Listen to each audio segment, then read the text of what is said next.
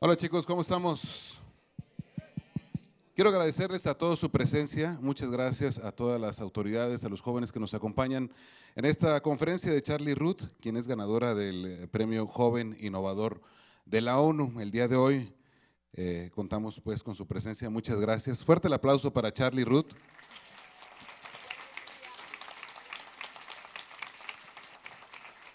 También quiero agradecer en representación del rector del Centro Universitario de Ciencias Económico-Administrativas al doctor José María Nava Apreciado, quien es secretario académico de este centro. Muchas gracias por su presencia. Agradecemos también al licenciado Alejandro Mercado Méndez, presidente del Comité de Proyectos de Servicios y Proyectos Sociales del Club Rotario de Zapopan. Y muchas gracias también a todos los rotarios que el día de hoy nos acompañan. Gracias por estar aquí presentes. Y por supuesto, a nuestra presidenta de la Sociedad de Alumnos de la División de Gestión Empresarial, Francia Montserrat Cortés Sandoval, por hacer también posible este evento.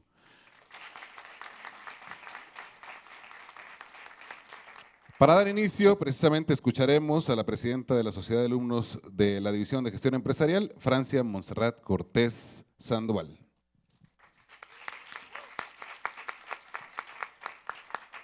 ¿Cómo están todos? Bien, qué bueno. La verdad, estoy muy emocionada por el mensaje que todos vamos a recibir en unos, en unos momentos por parte de Charlie Ruth. Muchas gracias por estar aquí.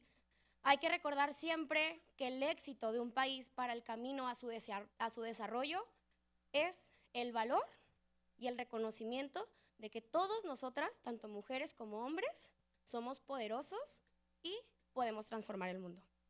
A continuación, vamos a, presentar un poquito el currículum de Charlie Ruth para que la conozcan, cuál es su trayectoria, cuáles son los proyectos en verdad hermosos que está haciendo, empoderando tanto a niñas, a mujeres y también, como no, a hombres con el mensaje que, que ella imparte.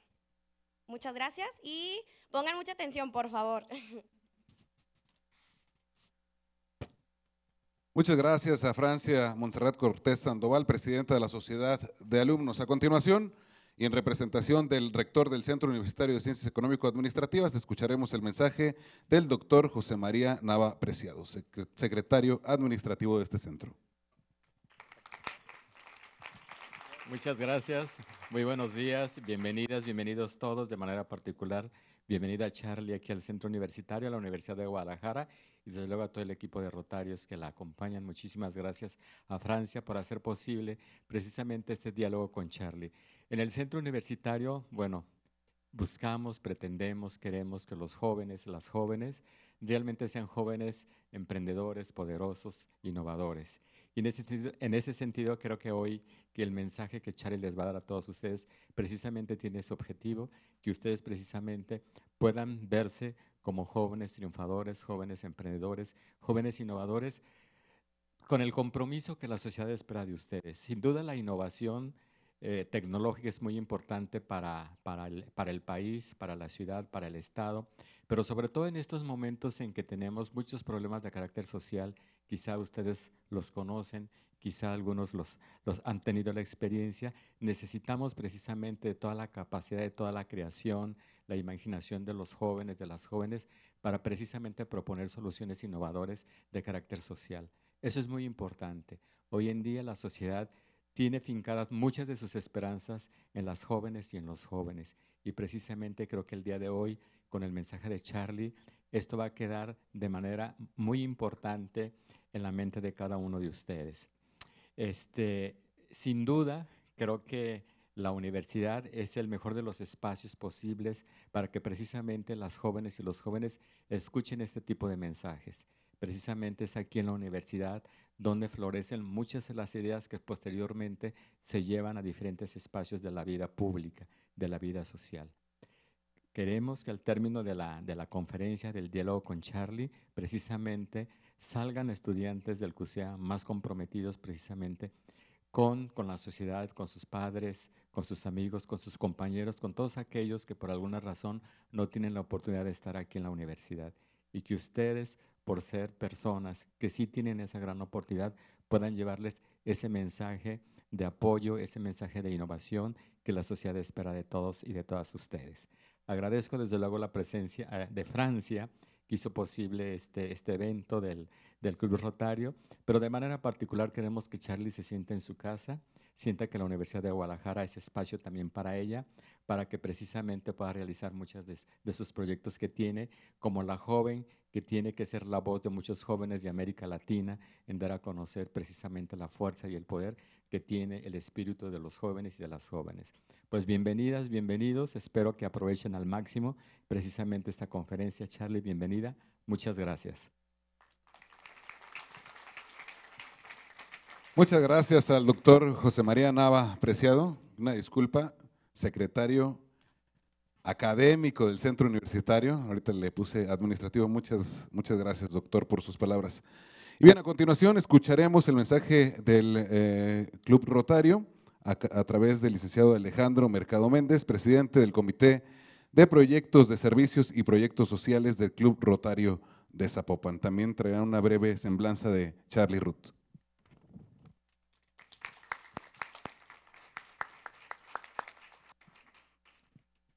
Muchas gracias a todos ustedes por darse la oportunidad de estar aquí esta mañana. Yo fui el afortunado y bendecido de representar a mi club rotario. Espero que ustedes se den también la oportunidad de escuchar lo que es Rotary. Pretendemos ser catalizadores de cambios positivos en la sociedad.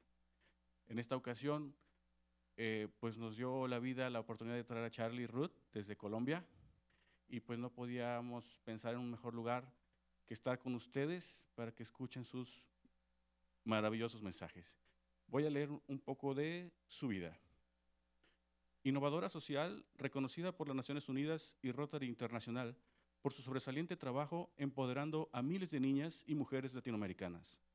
TED Speaker, abogada, escritora y experta con 12 años en el desarrollo de comunidades globales alrededor de la innovación y los derechos de las niñas y mujeres. Alumni Fellow en el Berkman Klein Center para el Internet y la Sociedad en la Universidad de Harvard.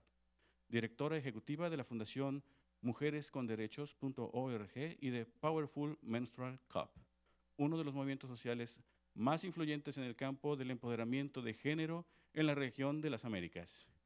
No tengo más palabras, los dejo con Charlie Ruth. Un aplauso para que sienta el cariño.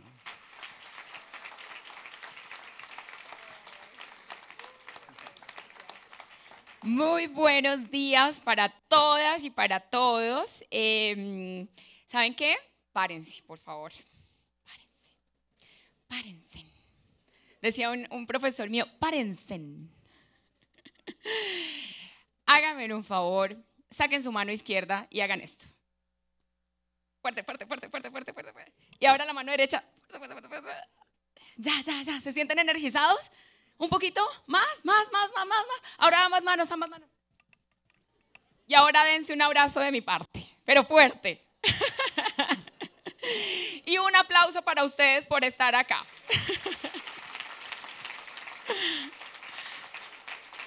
Muchísimas gracias. Tomen su asiento, por favor. Para mí es un placer, un placer estar acá. Muchísimas gracias a mis queridos amigos del Club Rotario Zapopan, que son rotarios ejemplares en el mundo. Muchísimas gracias a la Universidad de Guadalajara, eh, recinto que vengo conociendo desde el año pasado en las sedes de Colotlán, eh, recinto que, que he conocido por la potencia y el impacto que crea a través de la Feria Internacional del Libro de Guadalajara, de la cual ustedes pueden estar muy orgullosos de ser parte de ese gran movimiento cultural a nivel global. Eh, y, hermosa universidad donde les voy a decir algo y me van a entender al final. Tengo planes para todos ustedes. Tengo planes. Eh, de verdad que para mí es un honor, un placer estar aquí.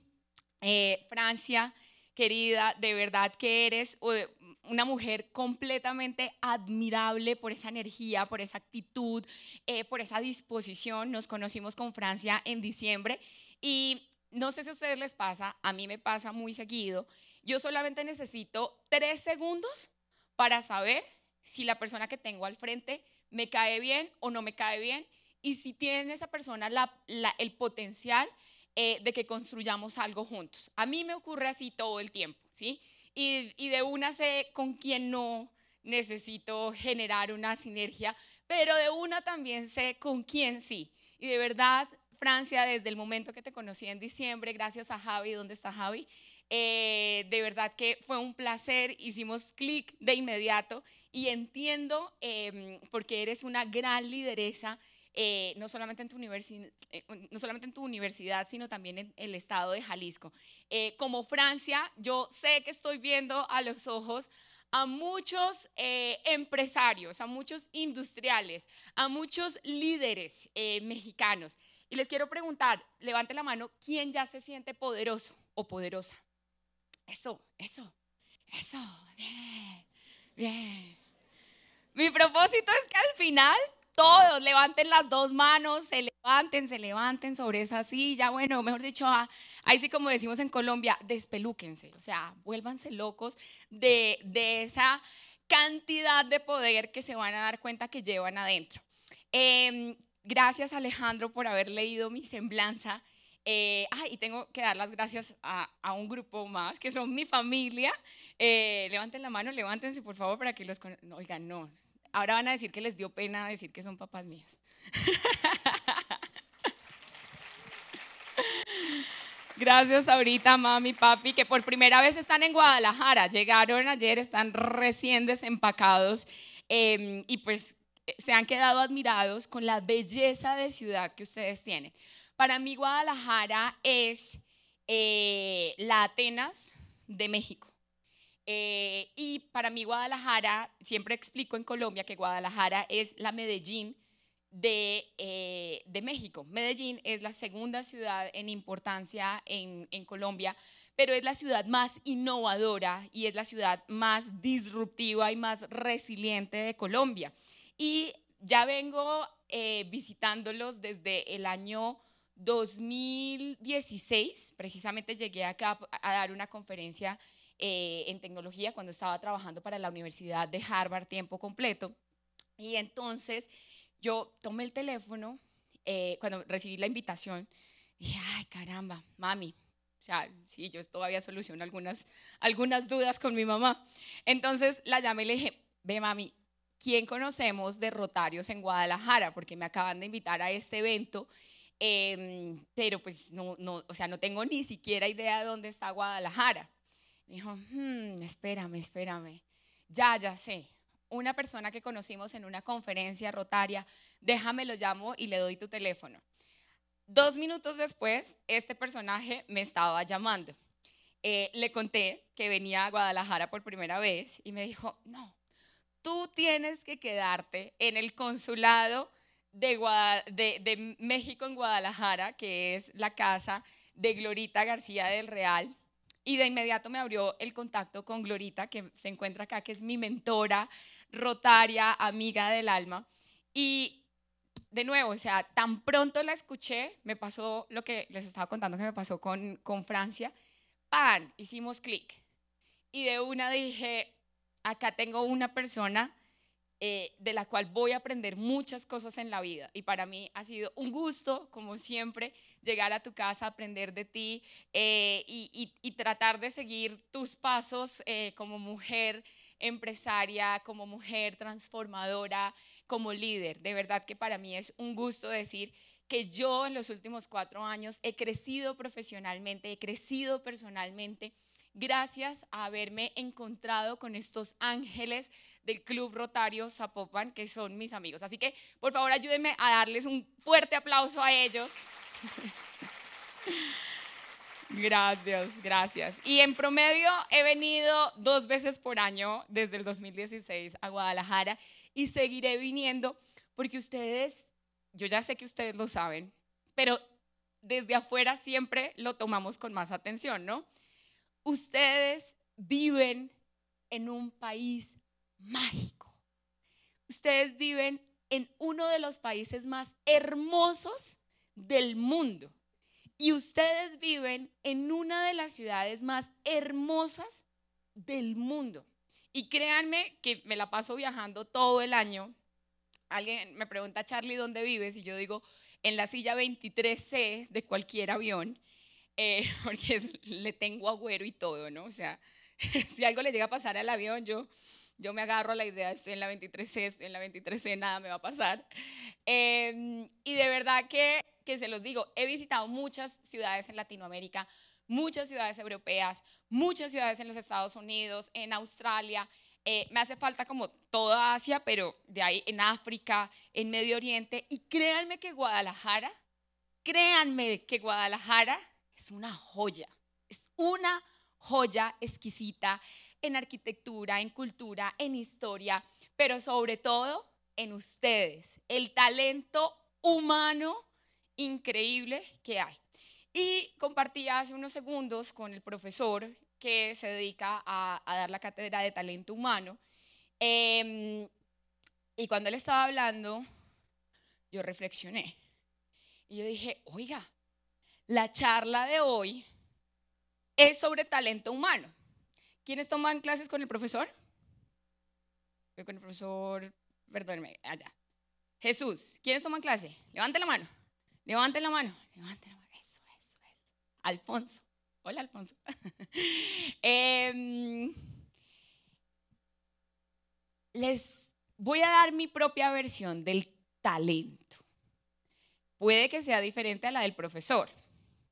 Pero ustedes están en una universidad, adivinen para qué. ¿Para, ¿Quién dijo para pensar? Para pensar. ¿Para qué más? ¿Para, ¿Para qué más? Prepararse, sí, sí, académica y profesionalmente. ¿Qué más? Para aprender. ¿Alguien está acá porque los papás lo obligaron? Piénsense. Puede pasar, eso también es una, esa es una razón muy frecuente en los centros universitarios de Latinoamérica y del mundo. Para mí, uno debe ir a la universidad a hacerse universal. ¿Sí? Nunca se, se, se preguntaron por qué se llama universidad. Bueno, yo un día me lo pregunté y me lo pregunté en la biblioteca de la Universidad de Harvard porque yo soy una apasionada de las bibliotecas. Ciudad a la que voy, quiero ir a su biblioteca, central, estatal, pública o a las bibliotecas de las universidades. Y en Harvard eh, eh, me la paso más o menos de abril hasta noviembre y el lugar que frecuento casi todos los días es la biblioteca, porque me encanta ir a leer, porque me encanta ir a leer prensa, eh, ir a abrir mi laptop y entrar a la biblioteca digital. Y un día yo estaba ahí y decía, ve, porque le pusieron universidad. Y, la, y es una palabra eh, que se traduce a todos los idiomas de manera muy similar. University, eh, universitad, eh, universidad. Y yo dije, pues es que viene del tema del universo. Y están ustedes en la universidad para hacerse universales. Es decir, para expandir su cabeza hacia los confines del universo. Y ahora que estaba hablando con el profesor Jesús, el talento es algo universal, que tiene exactamente las mismas proporciones del universo. ¿Mm? Y teníamos una pequeña discusión de cinco segundos con el profesor Jesús de el talento de las mujeres y les voy a decir qué creo yo. Las mujeres, como los hombres, como cualquier ser humano, sin su distinción de género o con la suya, es infinitamente talentoso y talentosa cualquier ser humano es infinitamente poderoso o poderosa. Yo soy abogada, soy autora, soy TED speaker, soy innovadora social, pero ¿saben qué soy? Soy agitadora de almas. Y hoy vengo a agitar la suya, si me lo permite. Y además de, de ser agitadora de almas, soy una optimista profesional porque los proyectos no fracasan por exceso de optimismo. Los proyectos fracasan por falta de confianza, por negatividad, por pensar, ya me va a caer el chahuizle, Ya me cayó. Ay, ya. Se apoderó de mí. Miren, hay que ir en la vida como un optimista profesional. Y se los aseguro, la gente va a querer trabajar con ustedes. La gente los va a invitar a la mesa a discutir. La gente va a invitarlos a sus casas, a sus oficinas, a sus empresas, a sus países. Y así me ha pasado. Y es lo que hoy quiero contarles. ¿De dónde arrancó? ¿Cómo se ha pulido esto? Un ejemplo práctico. ¿Cuáles son los principios que yo he aprendido y de los cuales puedo dar fe de que funcionan? Eh, y por último, les voy a hacer una invitación, porque ¿qué les dije hace unos minutos? Tengo planes para todos ustedes. Les voy a hacer una invitación para que viajen conmigo al infinito y más allá, y van a entender de qué estoy hablando. Yo creo en una nueva versión del poder, y arranco por ahí. Para mí el poder es la capacidad de transformar positivamente todo lo que queramos. Yo hace rato dejé de pensar que el poder es algo que tú tienes y yo no tengo y por lo cual tenemos que competir y matarnos y sacarnos un ojo y entonces eh, la gente poderosa es buena y los que no tenemos poder somos malos. No, yo encerré todo eso, lo metí en una bolsa y lo mandé para la quinta dimensión. Porque para mí el poder es intrínseco al talento, es intrínseco a la vida, es intrínseco a lo que nos hace únicos, especiales, diversos. Y es el hecho de ser humanos. Entonces, por el simple hecho de haber llegado a este mundo en forma humana, les voy a decir buenas noticias, todos y todas somos muy poderosos. Y ustedes van a decir, qué niña tan loca, ¿qué se fuma? Yo también quiero.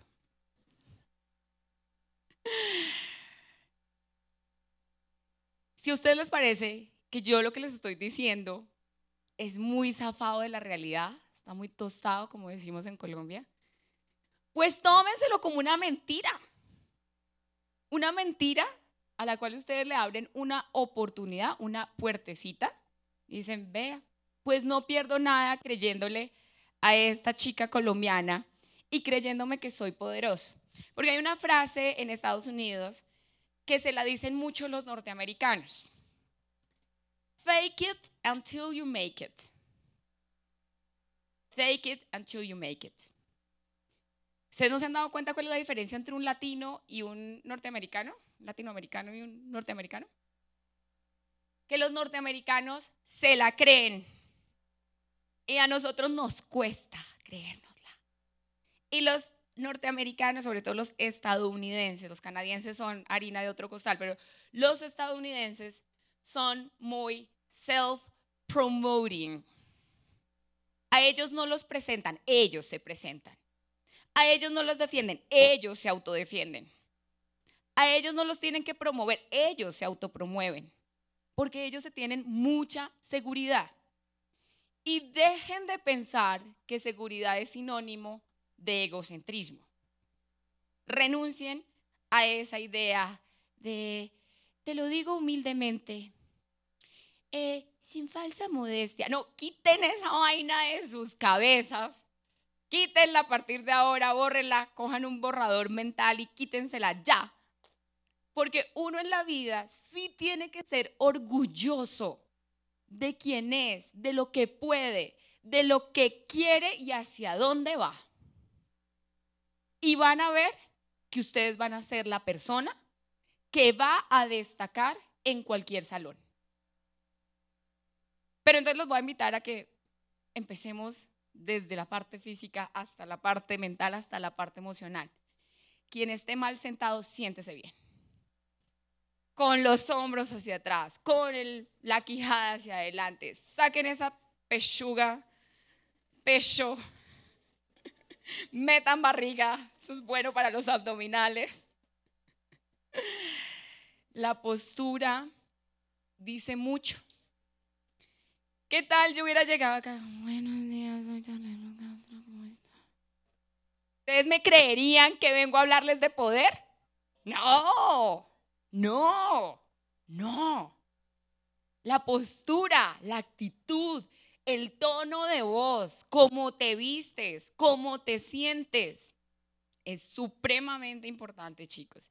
Y esta es mi foto favorita, me la sacaron en las Naciones Unidas hace un año y medio. La quiero muchísimo porque esto es el reflejo de mi espíritu. Esto es el reflejo, perdón, chiquillos, esto es el reflejo de quién soy, de mi alma, de lo que represento, de mi sonrisa, de mi optimismo profesional, de mi berraquera, como decimos en Colombia, de, mírenme, soy yo. Entonces, créanme, créanme algo.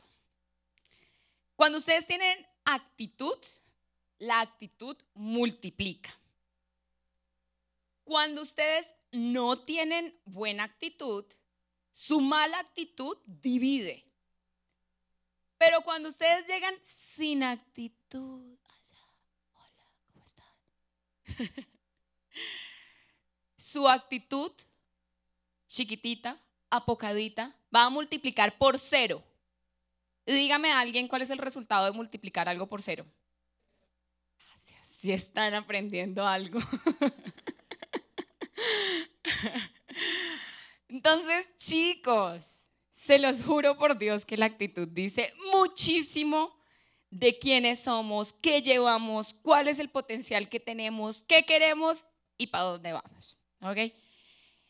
By the way, se van a dar cuenta que yo combino el mexicano con el colombiano con el americano.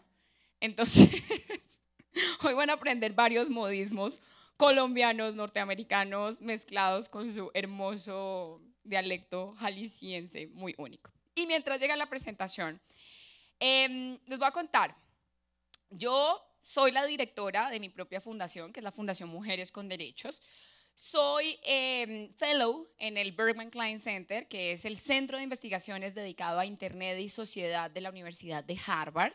Si ustedes quieren preguntarme más sobre cómo eh, tener una beca en Harvard.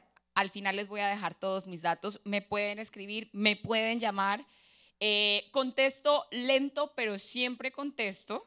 Eh, así que siéntanse libres de preguntarme cuál puede ser su oportunidad y su beca en Harvard. En Estados Unidos hago parte de la junta directiva de una organización muy importante que se llama Our Bodies, Ourselves que es una organización que desde hace 51 años se dedica a promover la salud sexual y reproductiva de las mujeres en el mundo. Ya les voy a contar un poquito más. Pero les voy a decir con todo mi orgullo, con toda mi alegría, con todo mi corazón, que soy muy feliz de ser rotaria. Y acá mis amigos del Zapopan me pidieron el favor de que les contara un poco de Rotary. Y les voy a contar tan poco pero algo tan emocionante que los voy a dejar lo suficientemente seducidos para que ustedes al final hablen con Roberto y con mi amigo Alejandro y les pidan que los inviten a la siguiente sesión de los Rotaract eh, del Club Rotario Zapopan. ¿Ok? Les voy a decir algo y se los voy a decir de manera muy, muy, muy honesta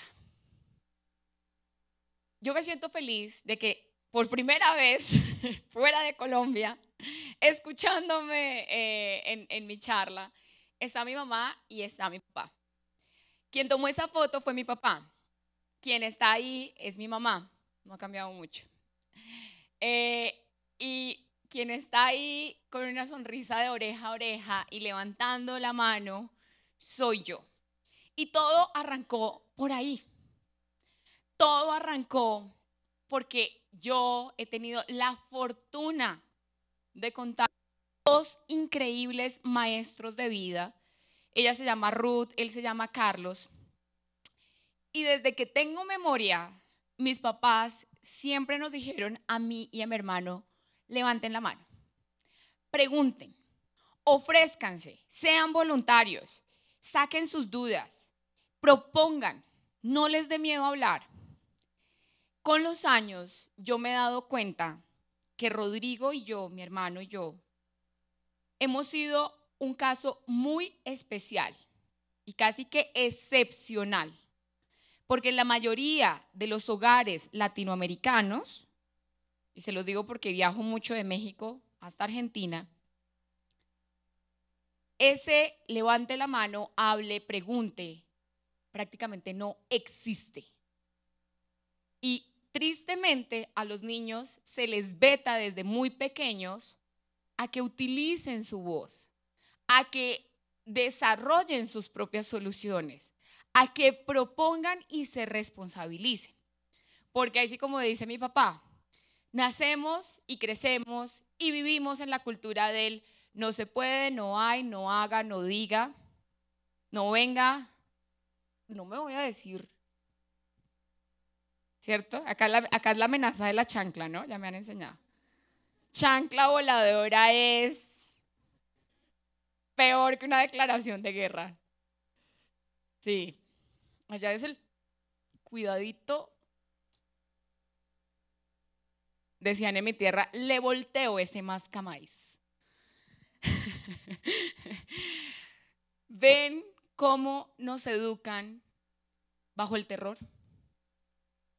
¿Ven cómo desde chiquitos aprendemos que el temor y el miedo son intrínsecos a la buena educación? ¿Ven cómo desde chiquitos inconscientemente nuestros papás nos están empujando a ver el mundo de una manera muy limitada? ¿Quiénes ya son papás acá? Ok, ok, muy bien. Veo que están planificando la mayoría. eh, les voy a decir algo. Para todos los que queremos ser papás o mamás algún día, me incluyo, démonos cuenta que nuestros papás dieron lo mejor que tenían con todo lo que tenían a su alcance. Y por eso ya no vale la pena juzgarlos. Lo único que vale la pena es agradecerles. Porque uno de entrada ya es bastante afortunado. Ya es bastante afortunado. La vida no le debe nada a nadie. Tatúenselo si se les olvida. Y se lo repito, la vida no le debe nada a nadie. ¿Alguno de ustedes tiene parálisis cerebral? ¿Alguno de ustedes nació con síndrome de Down? ¿Alguno de ustedes nació con una enfermedad congénita? No.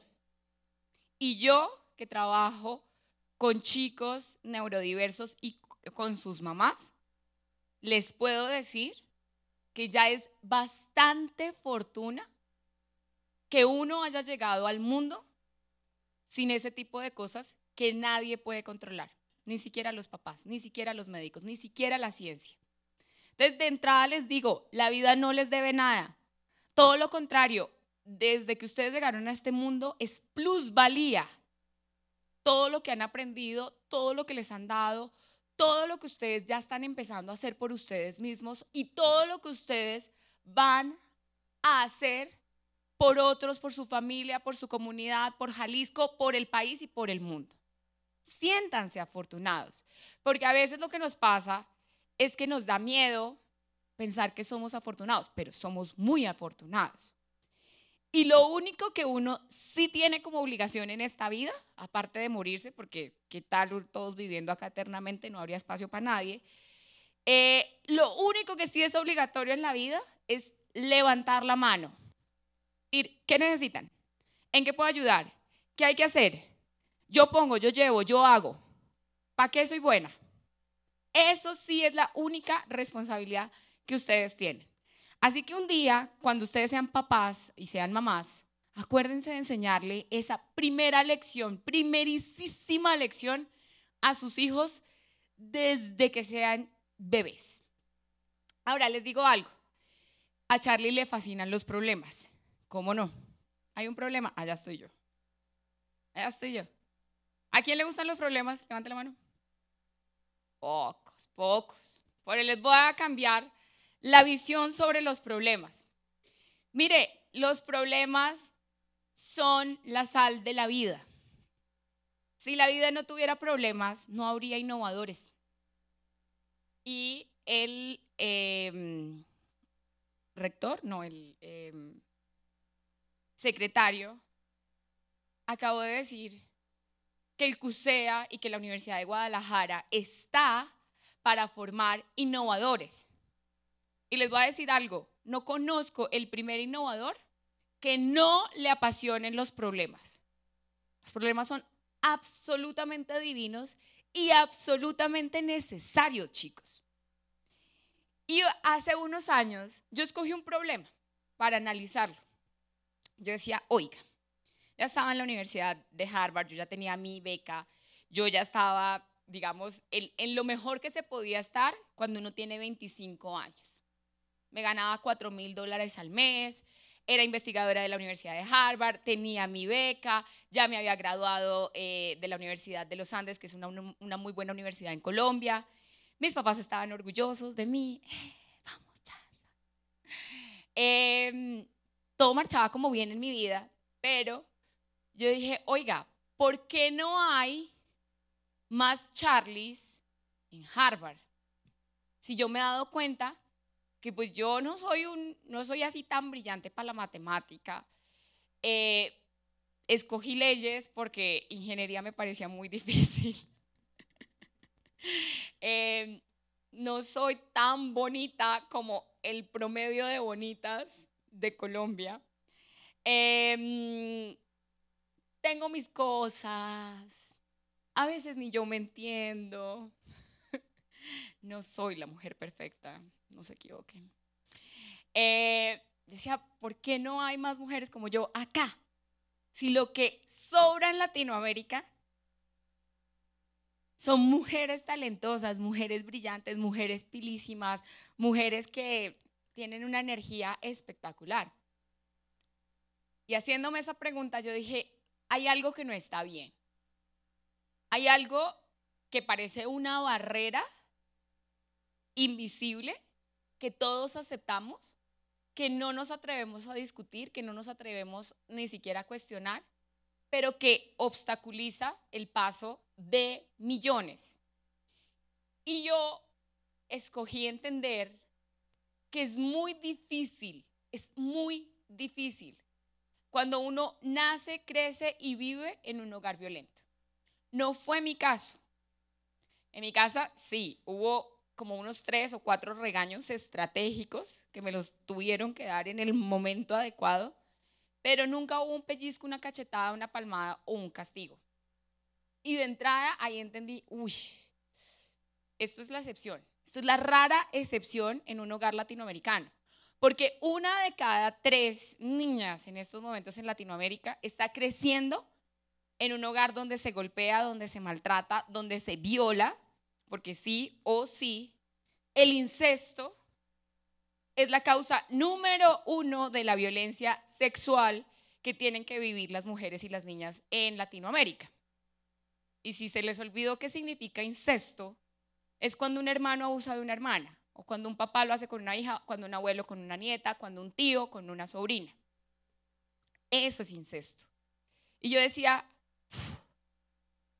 eso sí que marca la vida eso sí que le pone a uno dos anclas en cada pierna y hace muy difícil que uno se tenga confianza, que uno llegue sintiéndose poderosa o poderoso a una reunión, que uno, en vez de estar aplicando a una beca, está es pensando, ¿cómo carajos me voy de este hogar? Me voy, así sea en el tren que le llaman la bestia. Pararé en algún lugar, pero lejos de este infierno. De pronto, no es, lo que estoy contando no es la vida de ustedes. Y de entrada, vuelvan a darle gracias a Dios y a la vida, porque Charlie está hablando de un caso diferente a la vida de ustedes. Y tengo el presentimiento de que ustedes vienen de hogares bonitos, de hogares con valores, de hogares con cultura, de papás que han apostado cada recurso que les ha llegado a sus bolsillos para que ustedes tengan lo mejor de lo mejor. Y muestra de ello es que ustedes están acá en esta universidad. Pero fíjense que eso no oculta la situación que viven muchas mujeres y muchas niñas en Latinoamérica. Y son más de 105 millones de niñas y de mujeres en Latinoamérica. Entonces yo dije, ahí hay un problema que a mí me, me apasiona, ahí hay un problema que a mí me interesa. Y durante varios años yo pensaba que hablar de violencia y hablar de violencia contra las mujeres y contarle a la gente que es violencia contra las mujeres era lo único, lo máximo, lo que había que hacer. Hasta que un día me cayó el centavazo, como dicen ustedes, y me di cuenta que cuando uno habla exclusivamente de violencia, uno fortalece la violencia. Y ahí fue cuando yo decidí correr hacia la otra esquina del problema y decir, ¿sabe qué? Me cansé, me aburrí de hablar únicamente de violencia. ¿Por qué no hablamos del antídoto para la violencia? ¿Cuál creen ustedes que es el antídoto para la violencia? Gracias. ¿Quién lo dijo primero por allá? Estás en la jugada. Miren, la educación, la información, la inspiración que lleva a tomar acción es la única fórmula garantizada para eliminar la violencia, la guerra, la desesperación, la hambruna, el maltrato que hay en este planeta. Eso es lo único garantizado.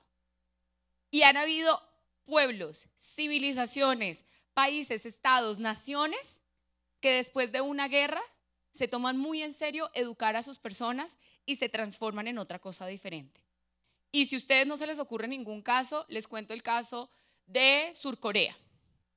Hace 60 años, Surcorea tenía unos índices peores que los de Ghana en África.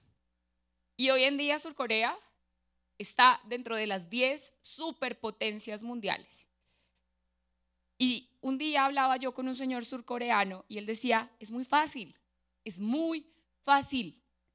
Lo único que tienen que hacer en los países latinoamericanos es invertir 40 años en darle la mejor educación a los jóvenes. Esa es la única clave para convertir un país destruido por una guerra a una superpotencia mundial. Y yo estaba con estos interrogantes y como, ¿por qué existe la violencia contra las mujeres? ¿Qué nos lleva hacia allá? ¿Por qué? ¿Por qué? ¿Por qué? Cuando conocí a esta bella dama, que también es otra de mis mentoras, que también es otra de mis amigas, que se llama Judy Norcillan.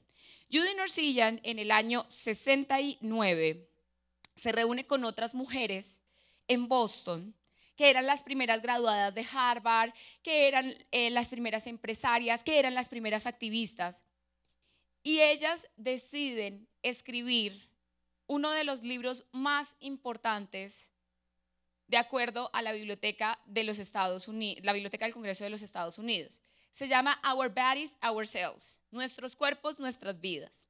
Ha sido traducido a 32 idiomas. Ha vendido más de 5.5 millones de copias en el mundo. Se siguen actualizando y se siguen traduciendo en diferentes países este libro con este gran contenido, que les digo lo pueden encontrar online. Está accesible para todas ustedes.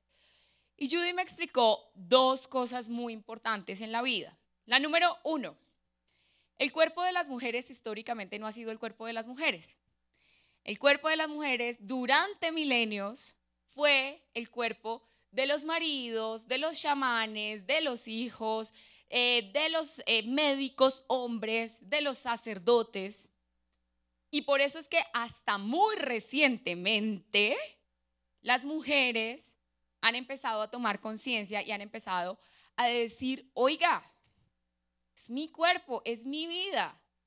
A ver, a ver si yo aprendo cómo me cuido yo solita, en vez de ir allá donde mi marido y decirle, no tengo para unas toallas higiénicas. No, la primera responsabilidad que todos los seres humanos tenemos es con nosotros mismos. protegiendo, amando, cuidando nuestro propio cuerpo. Pero esa materia por milenios estuvo vetada para las mujeres. Entonces, claro, a partir de la década del 60 en el mundo, esta conversación empieza a tomar una gran altura y las mismas mujeres empiezan a generar ciencia y generar conciencia para decir, oiga, es una nueva década. Queremos vernos diferentes, queremos tratarnos diferentes, queremos ser tratadas de maneras diferentes. Y la segunda cosa que Judy me dijo, que ahora se las heredo a todos y a todas, señores, siéntanse incluidos en esta herencia, es, cuando uno tenga un problema en la vida, suyo propio, de la comunidad, de Jalisco, de la, del CUSEA, de México, y uno lo vea y a uno le fastidie ese problema, le fastidio, o sea, como, oh, me indigna. Pregúntense, si no soy yo quien va a generar una solución, entonces ¿quién? Y si no es ahora, entonces ¿cuándo? ¿Cuándo? ¿Cuándo? Porque esta mañana yo hablaba con una persona que decía, sí, es que las mujeres eh, eh, no sabemos si tienen talentos o tienen talentos o no se hacen visibles por sus talentos. Perdón, las mujeres somos tan talentosas como cualquier ser humano, tan capaces como cualquier ser humano, desde el momento en que nos bajamos de los árboles y decidimos convertirnos como civilización en Homo sapiens, tenemos la misma carga de talentos, no nos ha tocado la misma carga de responsabilidades, obviamente a nosotras nos tocó más. Eh, sí.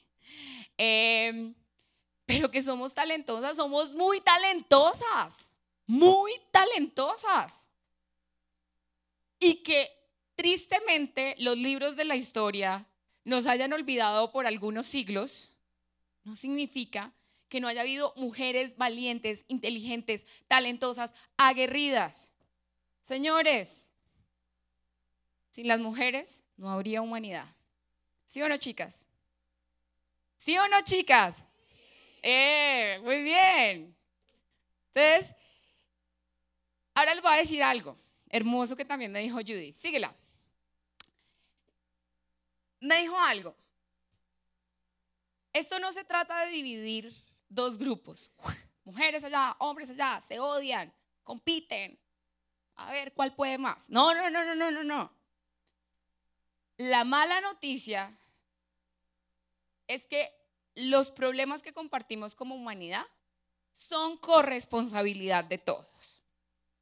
Si a las mujeres nos escondieron de las páginas de la historia es porque nosotras lo permitimos. Pero la buena noticia, la buena noticia para todos y para todas, es que juntos podemos más. Y a mí no me interesa odiar a los hombres, competir, hablar mal de ellos. Los hombres también son víctimas de hogares violentos donde vieron a un papá agredir a una mamá. Punto. Apréndanlo y entiéndanlo. Pero acá la buena noticia, señores, es que ustedes son la mitad del problema y al mismo tiempo son la mitad de la solución.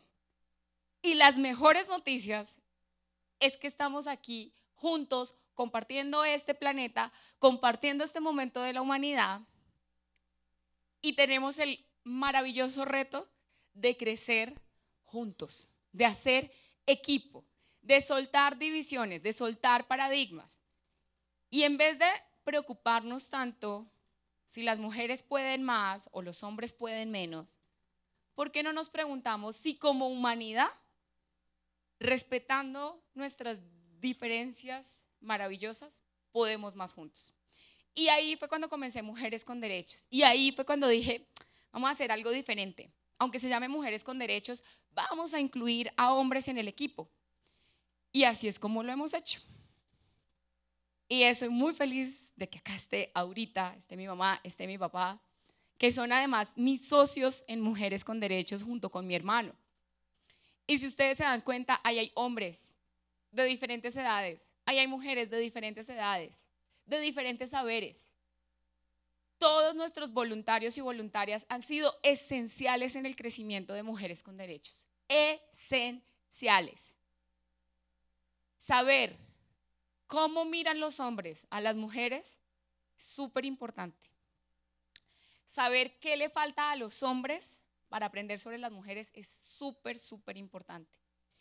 Y entender que ellos también quieren aprender más sobre nuestro universo, quieren comportarse mejor, quieren hacerlo mejor por ellos, por sus hijas, por sus futuras nietas, también es importante. Entonces, créanme que entre más diverso sea su equipo, más alto puede llegar. ¿Quiénes están emprendiendo en estos momentos?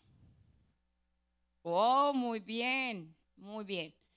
Son una minoría, pero me alegra ver que ya hay gente que está emprendiendo en estos momentos. ¿Quiénes quieren ser los futuros líderes empresariales de México? Ay, mejor. Ya, me puse feliz. Miren, futuros líderes empresariales de México, ustedes van a lograr esa meta en la medida en que tengan equipos fuertes y diversos. Grábense eso. Equipos fuertes y diversos. Si ustedes solamente hacen equipo con los hombres, se van a perder la mitad de las soluciones y la mitad del potencial. Si ustedes solamente hacen equipo con las mujeres, válgame Dios, recúbranse de paciencia. Pero también se van a perder de la mitad de las opciones. Hagan equipos mixtos. Traigan a personas de diferentes edades, colores, religiones, géneros, países si pueden. Entre más diverso sea su equipo, más alto pueden llegar. Síguela, por favor. Y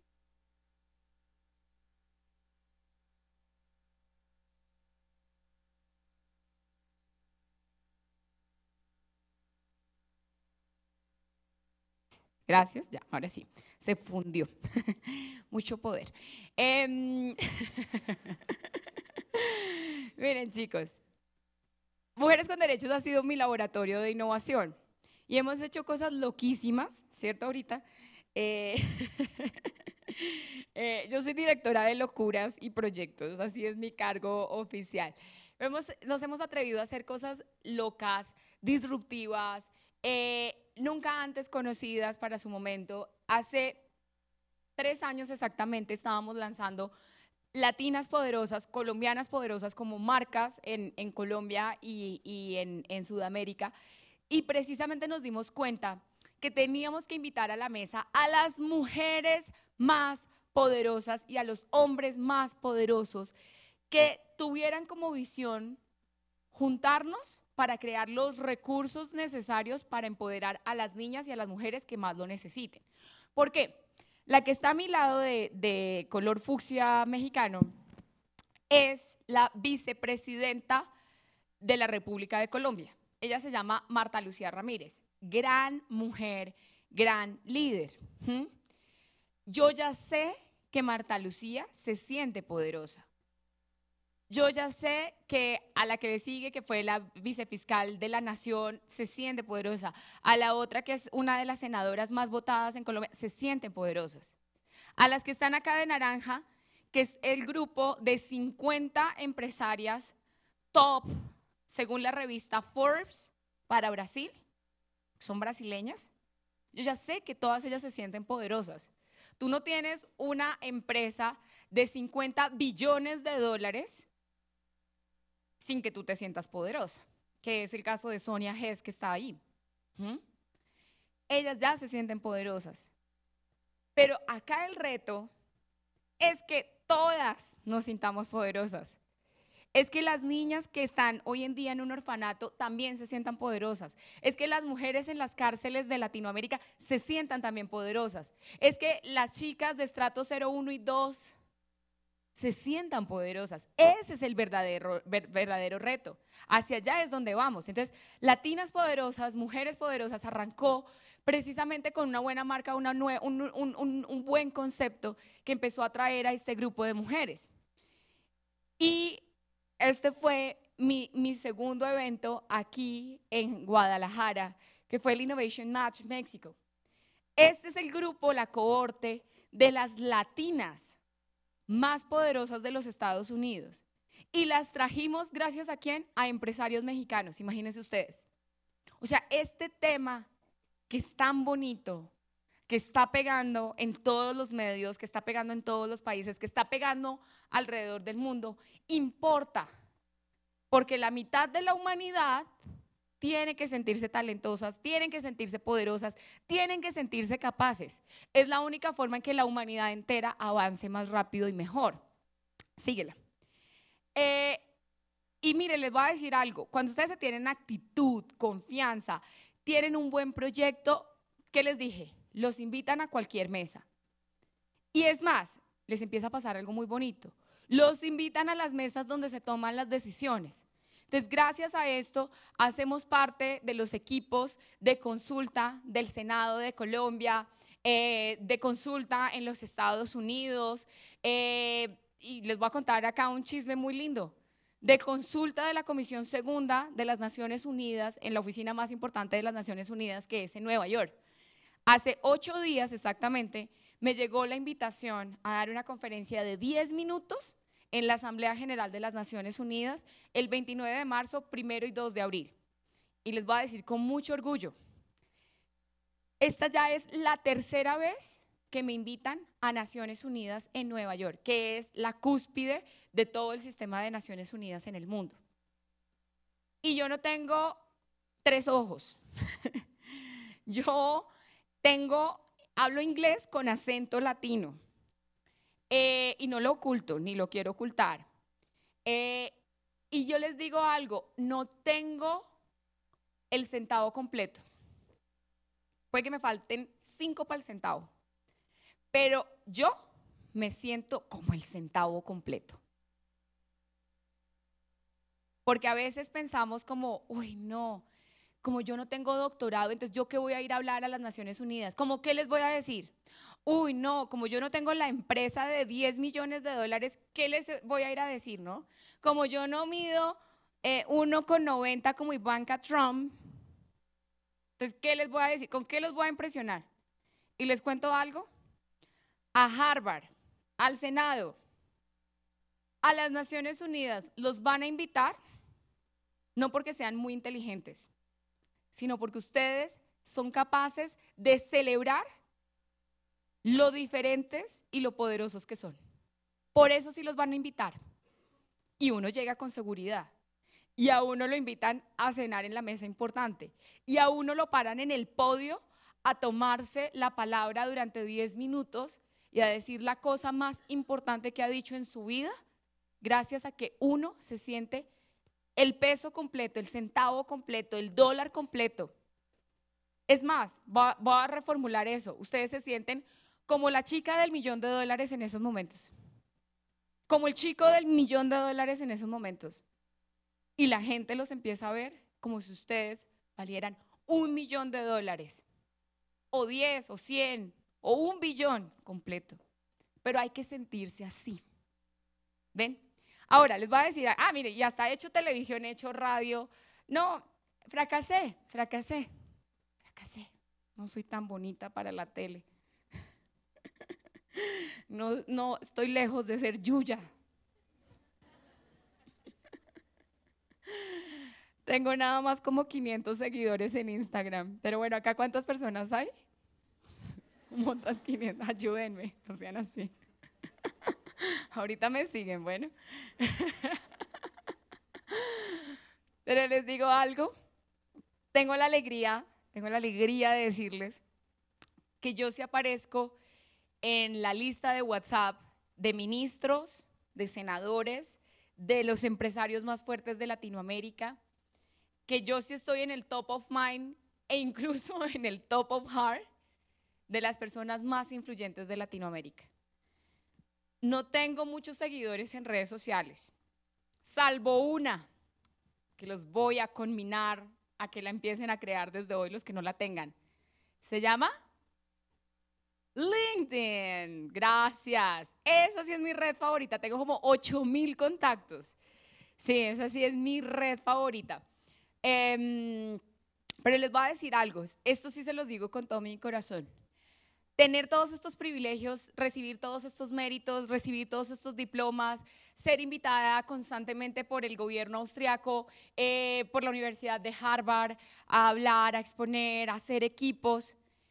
Eso es un placer ganado gracias a la confianza que tengo en mi equipo, a la confianza que tengo en mis propios resultados y a la confianza que me tengo a mí misma. Por eso les digo que suelten esa idea de, eh, sin falsa modestia, humildemente te digo, no, suelten esa vaina. La vida no pide humildad, la vida pide autenticidad. Acuérdense de mí. Entonces suelten esa vaina, déjensela a alguien más. Vayan ustedes sintiéndose como el millón de dólares completo, como el billón de dólares completo y sientan que ustedes tienen una responsabilidad muy grande. Cuando ustedes fortalecen esto, que es su voz, que es su canal desde el centro del poder hacia el exterior, la gente los va a escuchar. Y ustedes tienen la responsabilidad de ser honestos, de ser claros y de ser eficientes con su discurso. ¿A quién le da miedo hablar en público? Levante la mano sin pena. Eso, por allá. ¡Oh!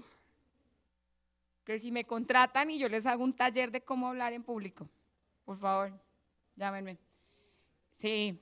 Sí. ¿Sí no?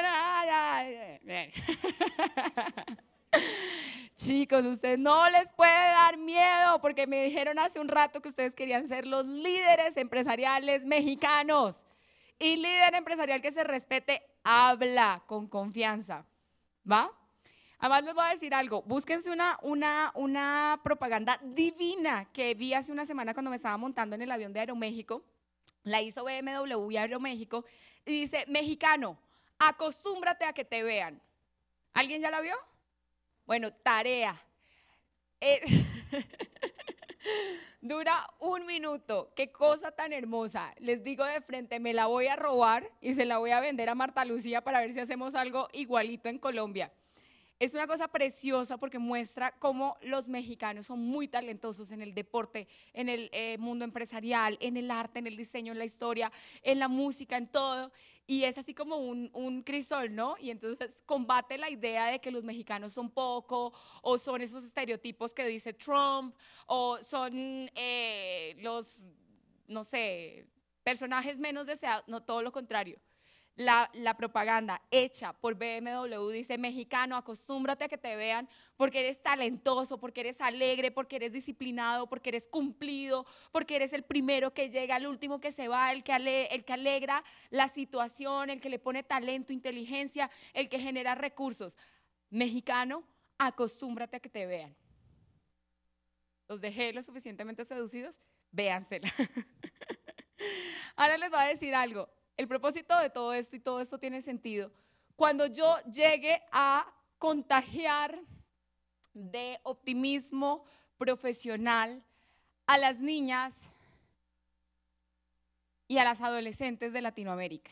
Ese sí es mi plan, ese sí es mi propósito, ese sí es el sueño de mi vida. Y no lo voy a cumplir sola, por eso quiero contar con ustedes. Si ustedes un día tienen una hija o, tienen una hermana adolescente, háblenle de que hay posibilidades, de que hay una forma diferente de vernos y que les va a decir algo, la ciencia, la tecnología, la innovación abren puertas para que las niñas sientan este poder. Y les cuento algo, el 2 de diciembre del año pasado, es decir, hace dos meses, junto con la Universidad de Harvard, y específicamente con el Harvard Smithsonian Center for Astrophysics, que es el centro de investigaciones en astrofísica, creamos el primer programa latinoamericano para enseñarles a niñas de estratos sociales bajos física moderna y las bases de astrofísica. Imagínense eso. Y tenemos en estos momentos 35. Y hay unas que me sacan la paciencia a veces. no son perfectas. Pero les digo algo, es un orgullo para mí decirles que esas chicas ya se sienten como pequeñas científicas. Y con lo poquito que hemos avanzado en nuestros 11 módulos que nos ha ofrecido el Harvard Smithsonian, van 4 de 11, ellas ya tienen unos elementos conceptuales para empezar a entender el universo a través de la matemática y a través de la física. Ya hubiera yo querido que a esa edad, entre 14 y 18, algo así me hubiera pasado. Porque seguro que no hubiera sido abogada, seguro que me hubiera dedicado a la física y ahora estaría aspirando a ser astronauta.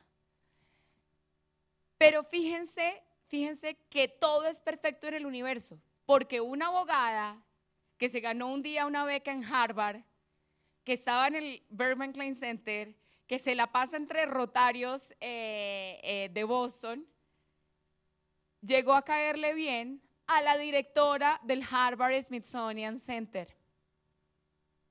Y Natasha Finnerty, que es otra mentora, otra amiga, me dijo, me encanta tu trabajo, me encanta el impacto que estás creando, ¿por qué no generamos el primer piloto de formación en astrofísica en Latinoamérica? Y ven cómo la vida hace las cosas de manera perfecta y por qué la vida no le debe nada a nadie mientras uno esté con la mano levantada y diga, ¿para qué soy bueno? Entonces, fíjense que esto es posible. Y si ustedes aquí en la Universidad de Guadalajara quieren crear su propio piloto, escríbanme. Con el mayor de los gustos lo podemos hacer. ¿Qué estudio economía? ¿Cómo voy a aprender de física y astrofísica? Bueno, si quieres, puedes. ¿Qué estudio arte? Si quieres, puedes. ¿Qué estudio teatro? Si quieres, puedes. No hay límites. No hay límites. ¿Y saben para qué sirve la ciencia? Para romper los límites. Para imaginarnos lo que hoy parece imposible. Para abrir una ventana al futuro. Hace 50 años fue el alunizaje. ¿Y se acuerdan del presidente Kennedy? Quien sufrió un magnicidio. Él decía, vamos a ir a la luna, no porque sea fácil. Precisamente nos hemos puesto el reto de ir a la luna porque es difícil. Pero si lo logramos, estableceremos un nuevo parámetro del potencial de la humanidad. Y hoy estamos tratando de explorar vida en Marte y hemos descubierto que hay más de una galaxia y hemos descubierto que hay tantas estrellas como granos de arena en una playa. Y eso se debe a que nos atrevimos a pensar en lo imposible y utilizamos la ciencia para ello. Entonces les digo, no hay imposibles. Este es mi grupo de astrofísicas. Este es mi grupo de colaboradores. Esto se hace gracias a los rotarios de mi club. Esto se hace gracias a personas que voluntariamente quieren contribuir. No les podemos pagar, pero tenemos el espacio, que esa es nuestra casa de la amistad. Bienvenidos todos ustedes a Colombia. Eh, y allí es donde damos las clases de manera gratuita y allí es donde estamos formando a la siguiente generación de científicas. Y les voy a decir algo, yo vengo de un pueblo. Yo nací en Bogotá, pero fui criada en una ciudad que se llama Sogamoso, que hoy se siente muy como pueblo, aún. Pero les voy a decir algo, hace 15 días exactamente, generamos el evento de innovación más importante en mi región que se llamó Foro Ciudad Inteligente Sogamoso. Y trajimos a los 33 personajes más importantes de innovación en Colombia para que nos contestaran la siguiente pregunta. ¿Cómo se genera una Smart City? ¿Cómo se genera una ciudad inteligente? Y lo logramos. Y si ustedes quieren saber más, Vayan y visiten, ay, agréguenme a Instagram, ay, de paso. Ahí pueden ver todo lo que fue el foro Ciudad Inteligente Sogamoso y pueden verse todas las espectaculares conferencias que nos compartieron estos 33 personajes. Nada se logra sin aliados, sin ángeles, sin amigos, sin patrocinadores, sin mecenas. Estos son los míos, principalmente Rotary. Y por eso aquí viene mi invitación seductora para ustedes. Ustedes quieren emprender y quieren volverse los empresarios líderes de México. Lo primero que tienen que hacer es unirse a un club Rotarat. o a un club rotario, el que ustedes quieran. Porque les voy a decir algo, a ustedes les hace falta lo que ellos les sobra. A ustedes les hace falta cometer errores, fallar, fracasar, quebrarse. Y por lo general los rotarios ya han fracasado, han quebrado y se han levantado. Y por eso son empresarios exitosos. No hay mejor forma que aprender a través de alguien que ya ha pasado por ahí. Y les voy a decir algo, grábenselo. No hay nada más inspirador que el fracaso de una persona exitosa. No hay nada más inspirador que el fracaso de una persona exitosa. Porque uno piensa que volverse Mark Zuckerberg es fácil. Y eso no es cierto. Mark Zuckerberg empezó a los 10 años, fracasó durante 7. Era un niño genio a los 18 que consiguió entrar a Harvard y secreto, secreto, no terminó la universidad. ¿Ven? Por lo menos ustedes ya van a terminar la universidad. O esa es la meta, ¿no? Esa es la meta. Entonces les voy a decir algo. O sea, no crean que ustedes vienen a repetir lo de Mark Zuckerberg. ¿Cómo te llamas tú? Itzel. Itzel es única, es especial y es diferente a Mark Zuckerberg. Y nuestra querida amiga Itzel debe construir su propia historia de éxito empresarial, que tiene otros elementos, que tiene otros actores, que tiene otros colores diferentes a los que les tocó a Mark Zuckerberg, a Bill Gates, a Jobs, a todos ellos. Es diferente. Ustedes no nacieron en Estados Unidos, ustedes nacieron en México. Y no piensen que eso los hace más débiles. Todo lo contrario, y escúchenme, eso los va a hacer más fuertes. Porque cuando uno no lo tiene todo, uno aspira a tenerlo todo y lucha con ganas por ello. Y eso de entrada ya es una ventaja competitiva que no tienen los estudiantes de la Universidad de Portland en Oregon. Ustedes les ha tocado luchársela. ustedes les toca sudar para llegar acá. ustedes les toca ahorrar. Ustedes, les toca, ustedes saben que en su casa hay un presupuesto limitado. Ustedes saben que dejar la universidad no es una opción. Ustedes saben, ¿cuántos de ustedes son la primera generación en venir a una universidad? Levanten la mano con orgullo. Uf, qué lindo. Qué lindo. Yo soy la segunda generación en ir a una universidad. Y créanme que si mis papás no hubieran ido, ni mi hermano ni yo tendríamos la educación que tenemos, porque sí es necesario ir a la universidad. Se los dice alguien que de rebelde y consentida un día casi deja la universidad, ¿sí o no, papá? y mi papá, ¿quieren escuchar el chisme? Que no salga de aquí y YouTube. Me las dejó muy claras y me dijo, olvídese de todo lo demás, olvídese de empresa, olvídese de mi apoyo si usted se atreve a renunciar a la universidad. Porque la universidad, sí, así fue, así fue. Menos mal hoy está acá, ya no puedo, no puedo inventarme algo más. Eh, pero les digo algo, me hizo un favor enorme, porque yo de verdad en un momento de ego, una borrachera de ego, quería dejar la universidad. Sí, si a alguno le ha pasado, fresco, fresca, todos en algún momento odiamos la universidad. perdón, profesor, perdón, rector, perdón, que sea. Eso pasa porque uno pierde perspectiva de por qué está aquí. Y uno pierde perspectiva de que uno viene a hacerse universal a la universidad. Pero tranquilos, la solución está a la mano y es volver a los problemas y es volver a enamorarse de problemas y escoger uno que les apasione lo suficientemente a ustedes para que ustedes decidan tomar acción y generar una solución.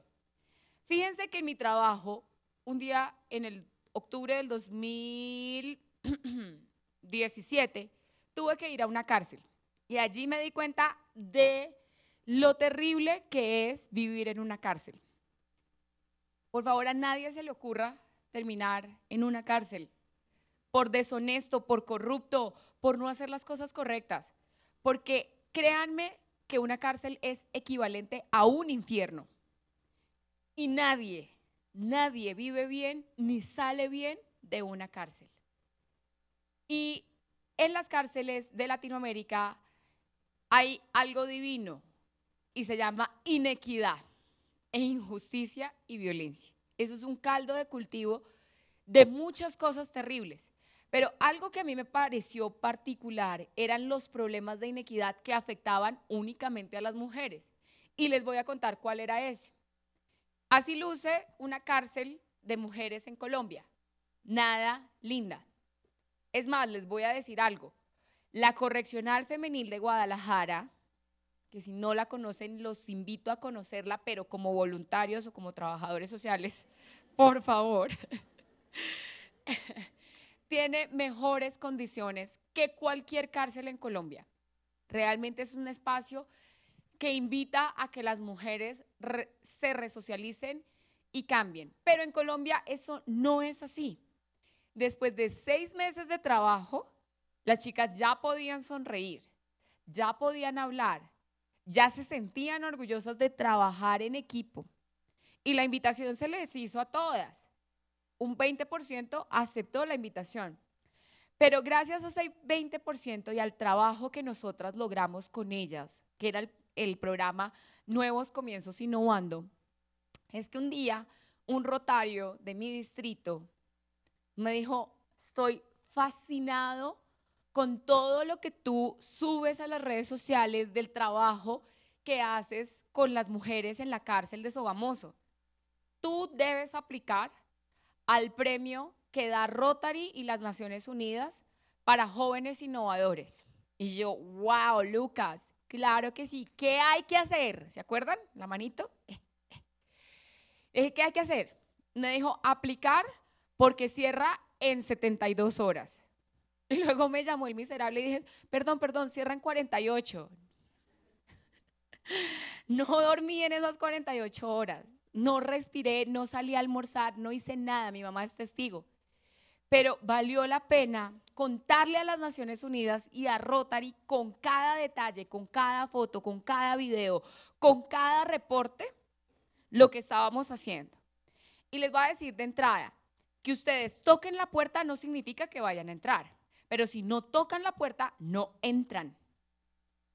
Entonces, ese tipo de oportunidades son oportunidades que pasan como una estrella fugaz. Y si uno no las vio, no las vio. Y cuando se presenta la oportunidad, uno aplica y uno lo hace lo mejor que puede. ¿Por qué?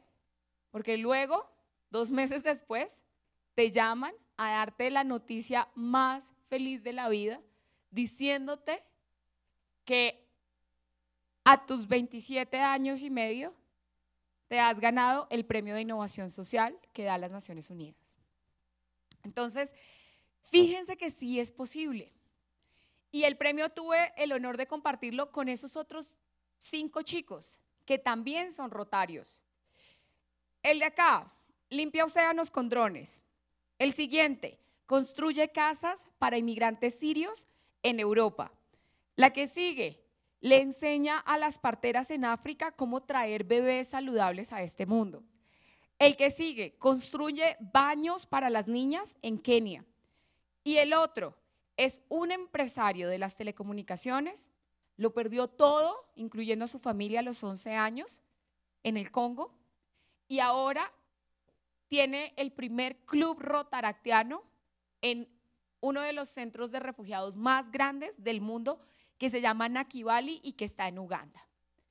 Para mí fue un honor compartir ese premio con esos cinco individuos más. Y para mí fue un honor pararme en ese podio con el mismo entusiasmo que estoy compartiendo hoy con ustedes para contarle al mundo que las cárceles son espacios donde existe la semilla de la innovación. si tú crees y si tú le ofreces oportunidades de innovar a las personas que están en las cárceles.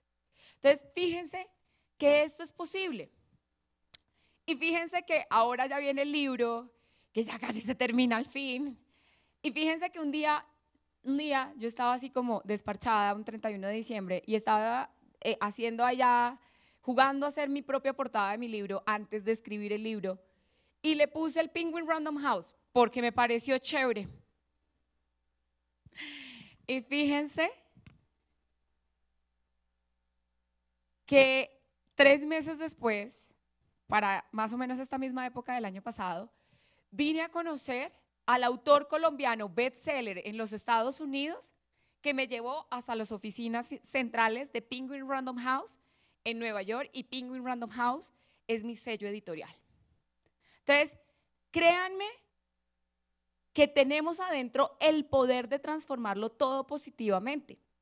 Y en ese libro les voy a compartir rápidamente lo que, lo que he pensado. La vida tiene desafíos y uno no puede tratar de resolverlos todos. Si a ustedes les parece que caminar por el mundo lleno de piedras, lleno de vidrios, lleno de dolores, es difícil, pues les digo, es difícil. Pero si ustedes están pensando en entapetar el mundo para no herirse los pies, están muy equivocados. No hay tapete tan grande que los salve de los dolores necesarios que se van a encontrar en la vida. Lo único que uno tiene que hacer es comprarse unos buenos zapatos y andar. Porque el mundo no se los van a cubrir de pétalos de rosa. El mundo no se los van a poner de algodones eh, de rosita. Hay que hacerse fuertes y hay que caminar con alegría por el mundo incluso con piedras, charcos, vidrios y espinas.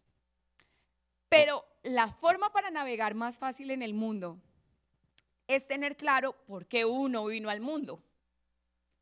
Y acá les voy a decir algo y los voy a poner súper incómodos porque acuérdense que soy una agitadora de almas. O sea, les voy a agitar en estos momentos. Miren, pregúntense, ¿quién verdaderamente soy? Aparte de llamarme Charlie Ruth, y de tener el pasaporte AO 341615. ¿Yo quién soy? ¿Yo quién soy? Aparte de estudiar en esta universidad, universidad y ser el hijo de mi papá y de mi mamá, ¿yo quién soy? Mi respuesta, por si los inspira, yo soy un espíritu optimista. Yo soy un espíritu optimista. Ahora, ¿para qué existo? Yo creo que esa es de las preguntas que menos nos hacemos los seres humanos. ¿Para qué carambas existo en este planeta? Y si ustedes los ponen incómodos, significa que van por buen camino. Porque la mayoría de las personas ni siquiera se ha planteado esto. Pero solo cuando uno se lo plantea con seriedad, se lo contesta con seriedad. Entonces, hoy chicos y chicas, pregúntense, ¿para qué existo? Porque no soy una planta, un cocodrilo, una ballena, soy un ser humano que nació en México, que está acá, que tiene esta oportunidad de formarse, como para qué existo, como para qué la vida me escogió para nacer aquí. Además, ¿qué me hace única? ¿Qué me hace único? Porque yo no soy Yuya y soy Charlie. Porque yo no soy eh, rubia y rizada como Francia, pero soy de pelo aguado y sonriente, por decir algo. ¿Qué me hace única? ¿Cuál es mi ventaja competitiva? ¿Qué es lo que a mi marca personal le hace resaltar? Porque todos somos una marca personal andante. ¿Se han preguntado eso? Si no se lo han preguntado, tranquilos, tienen tarea hoy. Ahora, lo que les he dicho hasta el cansancio. Acuérdense que sin importar la respuesta a esas tres preguntas, ustedes ya son muy poderosos y muy poderosas. No les hace falta nada para empezar a sentirse exitosos y poderosos ya. Y les digo de entrada, llegar a este mundo ya es bastante razón de sentirse poderoso y exitoso. El primer reto que la vida pone como vida es que el espermatozoide supere todos esos desafíos y llegue a colonizar el óvulo y forme eh, la primera mórula de la que uno proviene. Y eso ya es un éxito. De ahí en adelante todo es plusvalía. Ahora, sigue. Llegamos así a este mundo. Somos más o menos parecidos, es decir, como feos. Digan la verdad, asincérense. Bueno, mi mamá sí dice que yo, yo sí era bebé bonita. Dicen que bebé bonito, adulto no tan bonito y viceversa. Bueno, el caso, el caso es que llegamos de manera muy parecida. Y sin importar que parezcamos unos ratoncitos allá en clenques y sintiendo frío, nuestros papás no nos ven así. Nuestros papás ven la semilla del futuro, el potencial grandioso que todos tenemos. ¿Sí?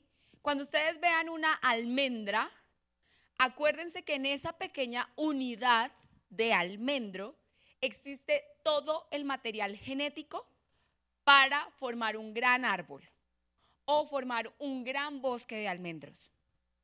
Ustedes puede que hoy se vean a sí mismos como la almendra. Y mi invitación es a que dejen de verse chiquitos y más vale se vean como la unidad de potencial infinito para hacer lo que ustedes quieran, porque de esa manera llegamos al mundo. Todos tenemos superpoderes, todos y todas tenemos superpoderes. ¿Cuál es el suyo? Mi superpoder es agitar el alma de las personas. Y conmigo lloran, ríen, se matan de la risa, se preocupan, yo vuelvo y les doy zozobra y alegría. Y ese es mi trabajo como ser humano. Además les digo, todos necesitamos apoyo para crecer. Y si ustedes sienten que son demasiado pequeñitos, empiecen a apoyar a alguien que venga detrás de ustedes. Y se van a dar cuenta que ustedes crecen más rápido. ¿Cuántos de ustedes tienen o asisten a un programa de voluntariado? Ok, pocos. Les voy a dar el secreto del éxito profesional aparte de dedicar el mejor de sus tiempos a sus estudios y a su, a su pequeña startup, empiecen a generar un espacio de tres horas semanales para ser voluntarios en un orfanato, en una cárcel, en los eh, proyectos de un club rotario, en IASEC, en UNICEF, en lo que ustedes quieran, pero háganse voluntarios y ayuden al crecimiento de otros. ¿Por qué? Porque lo dijo Gandhi, no es mío. Sean el cambio que quieren ver. ¿Les molesta algo en la vida? Perfecto. Tómenlo como su potencia, como su dínamo, como su motor y busquen ser el cambio que ustedes quieren ver. Tomen acción, no se me queden solamente acá y haciendo planes y... No, no, no, bótense al agua, tomen acción, fallen.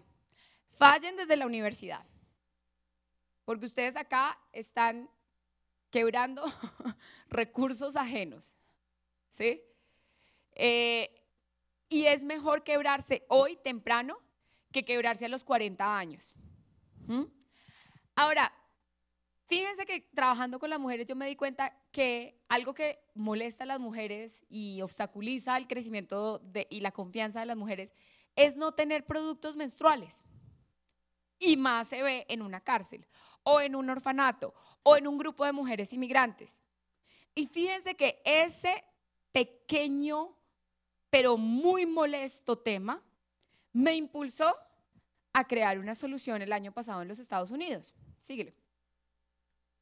Y es que me di cuenta que la menstruación la vemos como un problema, aunque no es un problema, porque gracias a la menstruación es que todos estamos vivos en este planeta porque literalmente la menstruación es lo que permite que cada 28 días las mujeres estén aptas para utilizar ese laboratorio de vida llamado útero. pero que si no nos deshaciéramos de eso, pues no podría crearse la vida, literalmente. Entonces el cuerpo humano y el cuerpo de las mujeres es tan perfecto que sabe que cada 28 días en promedio tiene que limpiar, regenerar y sentirse nuevamente apto para la labor más importante que biológicamente tenemos el potencial de hacer, que es crear un bebé. Ahora, ¿por qué vemos a la menstruación como un problema?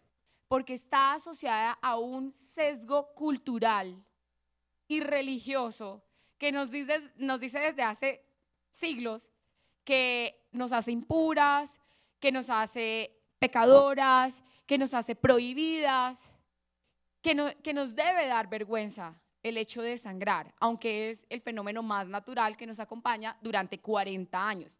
Señores, menstruamos durante 40 años. Y fíjense, aparte de todo, esto sí es un problema medioambiental, porque hoy en día hay tampones, hay toallas higiénicas que contaminan no solamente nuestros cuerpos, sino las fuentes hídricas del planeta. Entonces, esto multiplicado por 3.8 billones de mujeres que hay en la humanidad es un gran problema contaminante.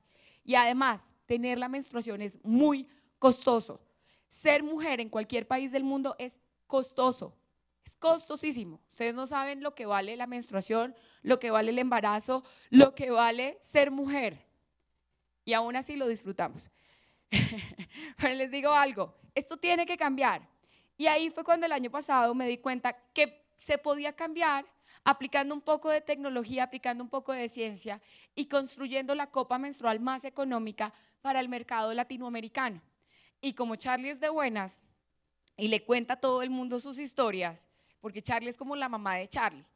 La mamá de Charlie no es chismosa, es una excelente comunicadora.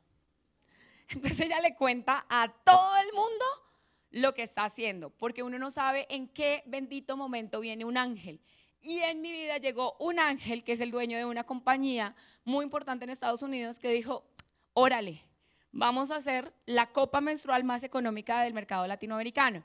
Pero aún así vamos a mantener el alto estándar de calidad.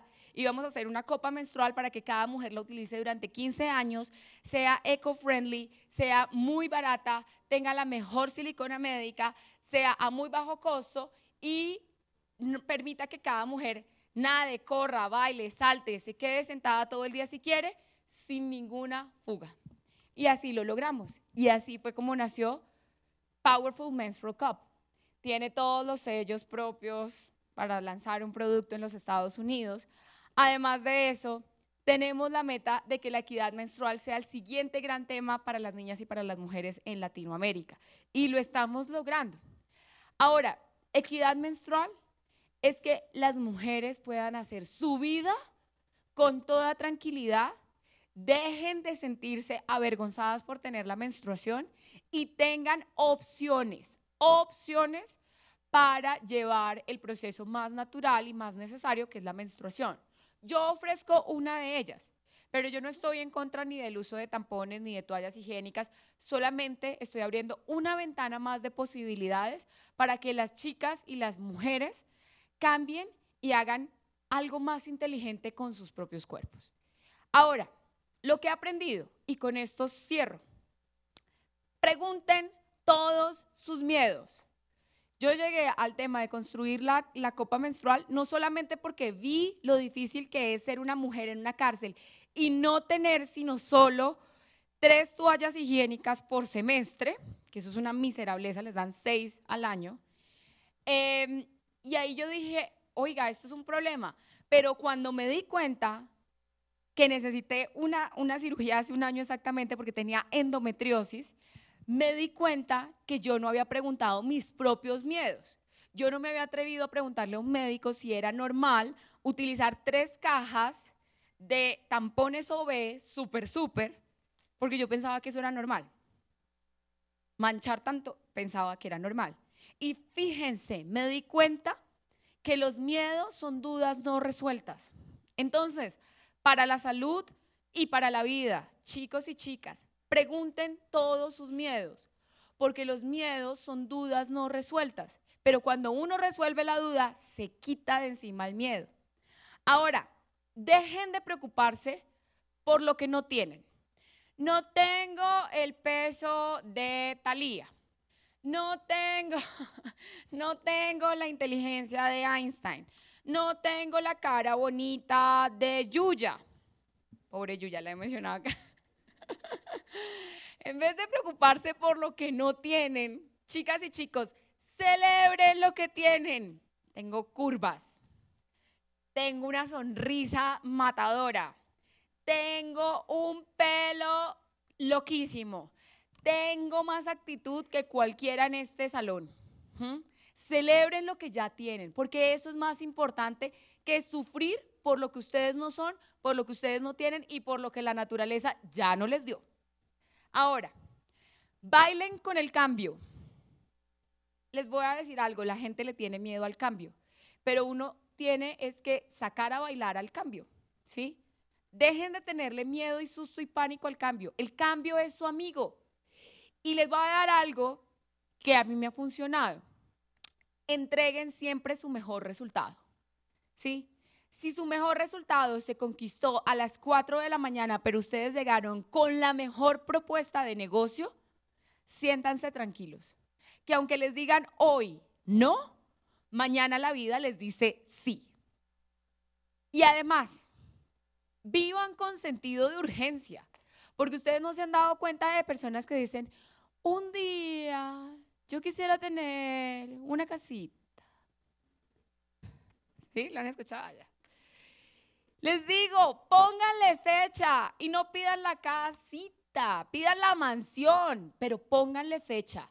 Y pónganse fechas cortas y pónganle el ánimo y pónganle toda la energía. Porque si ustedes no hacen eso, la vida se las cobra. Y la vida se encarga de mandarle lo que ustedes piden, así sea a los 95 años, y les manda la casita con la deudita, con los problemitas. Entonces, si han de pedir algo, pídanlo en grande y pónganse una fecha cierta y levántense temprano y acuéstense tarde y vivan con sentido de urgencia, que les apuesto la vida los va a premiar por eso. Y además, hablen de lo que ustedes no hablan.